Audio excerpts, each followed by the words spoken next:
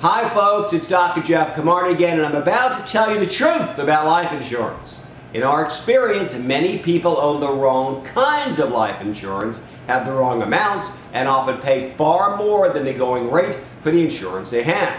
Except for people with unavoidable estate tax, and it's close to no one given where the estate tax limits are these days, Camarda does not believe anyone should use cash value life insurance like whole life, universal life, and variable life.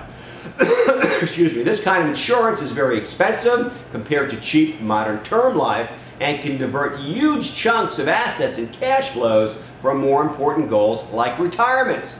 As an investment, there is always the drag of the actual death benefit insurance cost, death benefit insurance cost, plus insurance company profits and usually high agent commissions.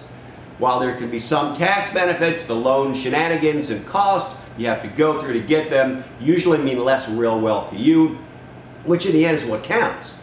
At its core, life insurance really should only be used to replace income, like from your job or from a pension that will stop or be reduced if you die.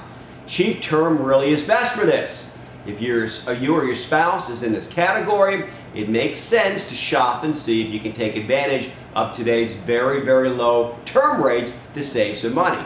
Costs for life insurance, particularly term insurance, have plunged, if you know where to look, basically because people are living a lot longer than they used to and the mortality tables have been updated. But if you have the wrong kind of insurance or the wrong amount, this should be analyzed as well. Click on the link for more information. We're very happy to give you a completely complimentary insurance review to see if you can save some money or even, if you, you don't need an insurance at all. It's free. We're happy to help. Till next time, I'm Dr. Jeff Camarda. Thanks for watching.